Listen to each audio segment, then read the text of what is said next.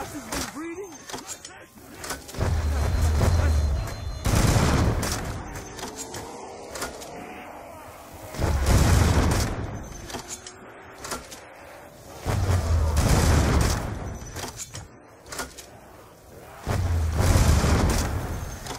Took the pinch right off.